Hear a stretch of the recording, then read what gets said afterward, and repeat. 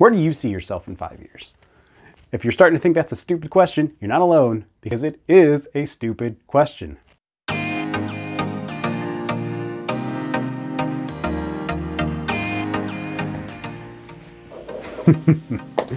uh, you are such an interesting person. Well, now the next thing I'd like to ask you is where do you see yourself in five years? Five years? That's a really long time. No, I have not given it any thought at all. I really like to see where life takes me. I like to go with the flow. Where do I see myself in five years? Wow. Um, probably sitting where you are, asking these questions to the next hire.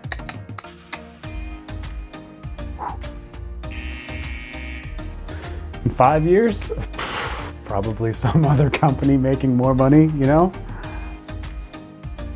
You know? Five years? Well, see, I really just see this job as a stepping stone. What I'm actually interested in is where do you see yourself in five years? If you're starting to think that's a stupid question, you're not alone because it is a stupid question. Nobody knows where they're going to be in one year, much less five years, you know? And they know that. They know that nobody knows. And we know that they know that nobody knows, you know? Which means they know that we have to know that they know that nobody knows, you know? So why do they even ask this question then? Hopefully by this point you figured out that there's more to this question than just where do you see yourself in five years. The reason they ask this question is really to gauge a few things about you. If we are giving the interviewer the benefit of the doubt, right? Say this is a genuine, honest to goodness, I want to get to know you more as a person kind of question. I want to understand you a little bit better. What kind of person am I dealing with? Then yeah, there are actually a few insights that you can gain from asking somebody this question. For example, do you even have a plan? Or are you the kind of person who just lets life happen around them and to them? Are you ambitious? What are your priorities? How am I going to motivate you as an employee? Do you care about words of affirmation or do you just need to see a bonus so that you'll do better? Do I just need to pay you and you'll do a better job? If that's the case, then I've learned something from this question. Is this something you really want to do? Does this job line up with your career aspirations? Is it something you're passionate about? Or are you just here for a paycheck and waiting until something better comes along?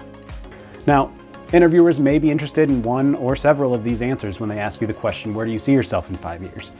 But these are kind of the, the side dishes to the juicy main course of a question that they're dying to get the real answer to. So what are they really looking for when they ask this question? Where do you see yourself in five years?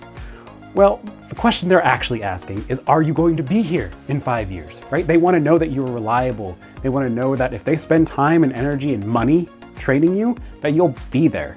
That they're not just wasting their time for you to move on to a different company the first chance you get. So maybe you're just looking to get some experience, right? You're new to the industry and you just want to get a feel for it. Maybe you just graduated from college and you're trying to get that entry-level job before moving up in your career. But we need to look at this from their perspective. Put yourself in the shoes of the hiring manager. Would you want to hire somebody who you felt like was going to take your training and move on to a new job in six months? Of course not. You want to know that the time and energy that you are investing in this person to train them up on this job is going to yield you benefits, is going to provide value to your team for the long run. You want to be able to rely on this person, not feel like at any second they're going to be able to leave because somebody else offered them another job. Now with that perspective in mind, we're going to go ahead and take a look at the best and the worst ways to answer the question, where do you see yourself in five years? First thing we need to do is ease the interviewer's mind. Yes, we will still be here in one year, in two years, five years. Maybe we want to retire from this company. Probably not, but they need to feel like you are invested in this company as much as they will be invested in your training. Everything else is bonus at that point. But we can't just get away with saying something like, yeah, I'll be here in five years if you hire me, right? We need to actually show them that we will be providing value to this team and this company if we are in fact hired, and that we will also be here. We need to be reliable, value producing employees. Both of those are important. If you provide value, but you're gonna be gone the next second, who cares? If you're there, but you're not doing anything, who cares? You need to do both. Now with those two concepts in mind, let's go ahead and get into some of the best ways that you can answer the question, where do you see yourself in five years? Because there are multiple answers and you can kind of pick and choose from these to make it your answer. For this example, let's go ahead and say that we're going into the banking industry, just so that these phrases don't sound like fill in the blank, right? I see myself as a subject matter expert in the financial field and specifically in the personal loan industry. I hope to be able to discuss banking and personal loans confidently and competently with leaders and the uninitiated individuals that I come in contact with on a day to day basis.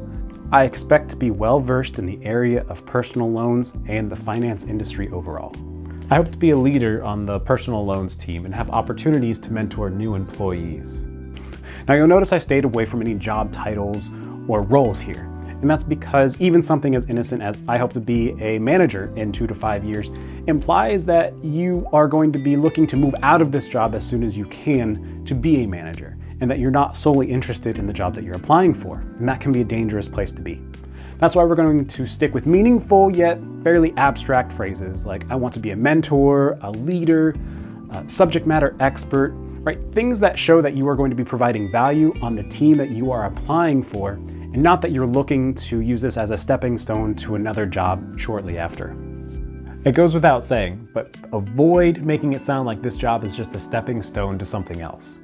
Even phrases like, I hope to be a manager, or I hope to gain industry experience and expertise and move into a more impactful role. Right, that might sound innocent enough, but really all the hiring manager hears is, right now my plan is to join your team, take all the skills and training that you can give me, and then leave and go to a different company that pays me more. We don't want to give off the perception that we're not planning to be here, even if in all honesty, your plan is to not be here. Right? So we're even going to avoid those kind of cliche answers like, I hope to be CEO, or I hope to be sitting where you are asking these interview questions, right?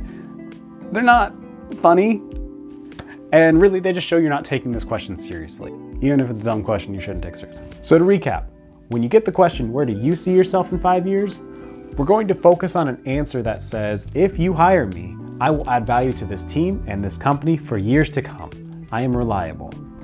And what we're not going to do is suggest that this is short term or this is just to get experience or that this is just a stepping stone to something else.